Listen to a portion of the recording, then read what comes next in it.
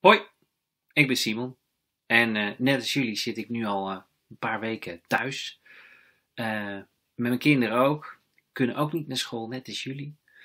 En ik weet niet hoe het bij jullie gaat, maar het rekenwerk en het taalwerk en het dicté wordt soms ook wel een beetje saai. En wat wij dan wel eens doen, is gewoon lekker een boek erbij pakken en lekker zelf gaan lezen of elkaar voorlezen. misschien kan ik jullie daar ook blij mee maken. Dus ik wil graag uh, een stukje voorlezen uit mijn nieuwe boek. Um, ik zal het even laten zien. Het werkstuk of hoe ik verdween in de jungle. Um, een boek wat ik nog maar nou, een paar weken geleden heb afgeschreven. Um, en uh, het is uh, geïnspireerd op het verhaal van mijn zusje, van mijn eigen zusje. En op, uh, toen ik begon aan het boek, heb ik even mijn eigen werkstukken er ook weer bij gepakt. Want het, begint, het verhaal begint met, ja, heel gewoon, onschuldig, met een werkstuk. Uh, dit zijn mijn oude werkstukken. Uh, mijn, mijn dochter moet nu ook toevallig een, een werkstuk maken, thuis. nou, dat heb je misschien ook wel eens moeten doen. Het, het kan heel onschuldig klein beginnen. Maar dit werkstuk is toevallig wel een beetje gevaarlijk. Het loopt op een gegeven moment een beetje uit de hand. Zoals het in de krant ook uh, door iemand een keer werd gezegd. Uh, dit is het gevaarlijkste huiswerk ooit. Ik zal beginnen bij het begin.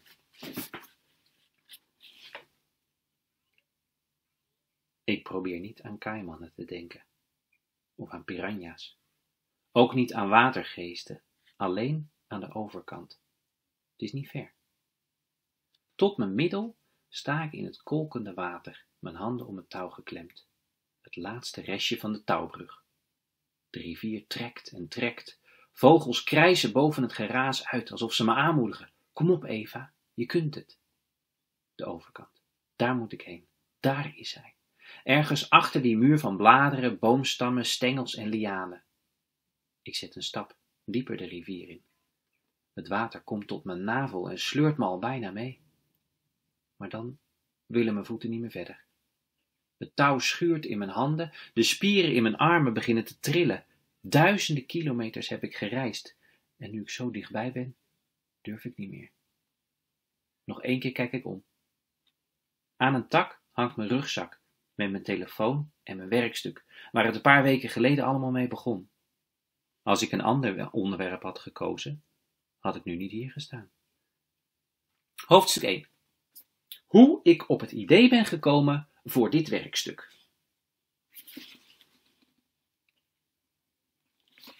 Eerst wist ik echt niks toen we een onderwerp moesten verzinnen.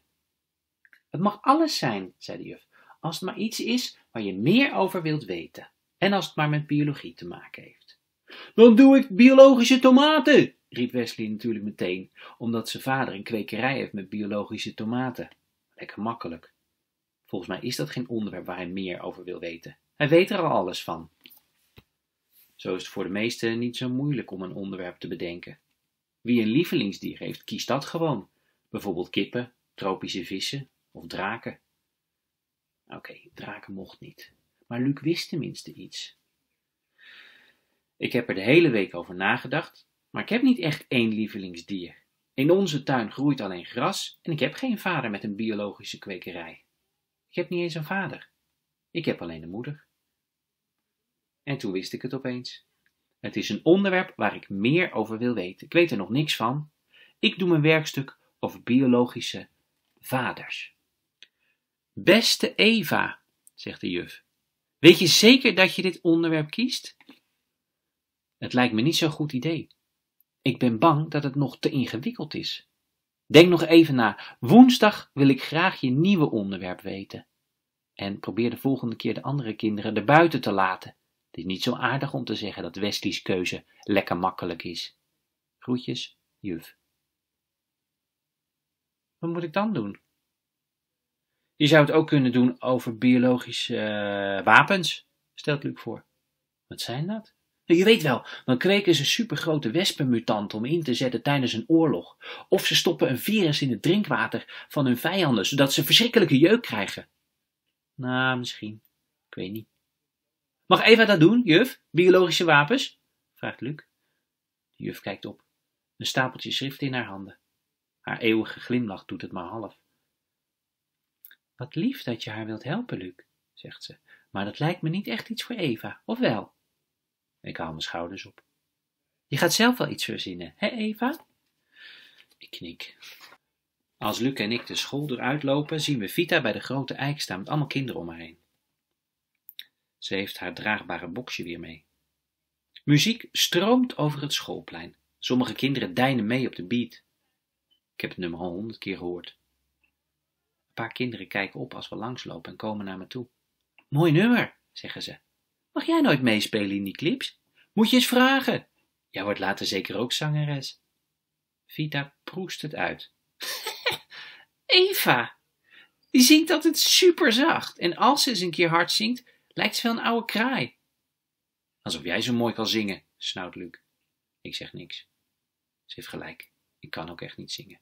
Ik ben altijd schor. Een paar meisjes uit groep 7 komen giechelend op me af.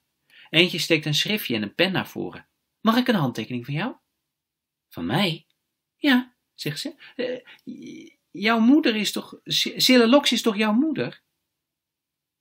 Vita slaat haar armen over elkaar. Nou, Eva lijkt anders voor geen meter op haar, of wel? Het meisje blijft aarzelend staan en kijkt van Vita naar mij. Eh, dat zie je toch zo? Silla Lox is wit en blond. Silla Lox zingt het sterren van de hemel. En Eva? Vita, hou even op, zegt Luc. Het meisje dat een handtekening wilde, druipt alweer af. Volgens mij, zegt Vita tegen iedereen die het maar wil horen, is Eva te vondeling gelegd bij Silla Lox, in een mandje voor de deur. Steekvlam in mijn buik. Silla is mijn moeder. Hoe kom jij dan zo bruin? kakelt ze verder. Weet je best, mompel ik. Luc trekt me zachtjes aan mijn arm. Kom, Eve. Maar ik blijf staan. Vita zet haar handen in haar zij. Maar je hebt toch geen vader? Dat zeg je zelf altijd. Is ook zo, zeg ik. Maar ik heb wel een biologische vader. Wie dan? Waar woont hij dan? Waarom heb je het nooit over hem? Ik heb het wel over hem, snauw terug. Ik ga zelfs mijn werkstuk doen over biologische vaders. Ha! kraait Vita. Dat wordt een lekker kort werkstuk dan. En hekend van de lach loopt ze weg, een boksje onder haar arm. Mama staat in de keuken een visje te bakken als ik thuis kom. Met een houten lepel trommelt ze een ritme op het aanrecht en danst ze mee met haar schouders. Ze geeft me een kus. Mijn nieuwe nummer doet het goed, vertelt ze. Eerste dag en al ik weet niet hoeveel keer beluisterd. En guess what? Het Flash Festival heeft gebeld. We spelen niet in de kleine tent, maar op het grote podium. Ze danst een rondje. Twaalfduizend man, stel je voor. Wow, zeg ik. Wat cool. Misschien is dit een goed moment. Ik leun tegen de koelkast. Mam? Hmm? Ze draait het visje om in de pan en danst verder. Op school moeten we een werkstuk maken. Ik haal diep adem. Een werkstuk, herhaalt mama. Ze trommelt mee en maakt er een liedje van. Een werkstuk, een werkstuk. Haar armen golven soepel alsof er geen botjes in zitten, alsof het twee slangen zijn. En? Weet je al een onderwerp? Haar helder blauwe ogen staren me aan. Uh, mompel ik. Misschien doe ik het over wormen. Waarom zeg ik dat? Wormen? Vind je die leuk? Nou, weet ik niet. Ik voel het bloed naar mijn wangen stromen. Misschien kies ik ook wel iets anders.